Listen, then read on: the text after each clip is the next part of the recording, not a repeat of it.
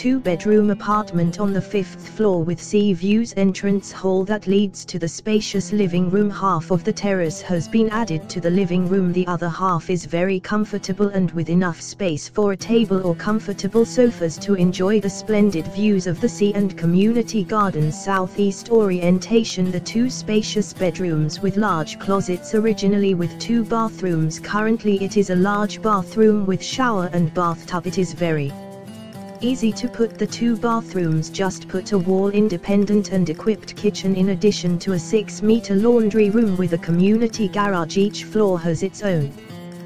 The urbanization with large gardens and swimming pool steps from all services and 50 meters from the beach golf courses and excellent communication with the rest of the coast we inform consumers that the following expenses are not included in the indicated price, 8% ITP, property transfer tax, notary public registry as well as any other expense inherent to the sale.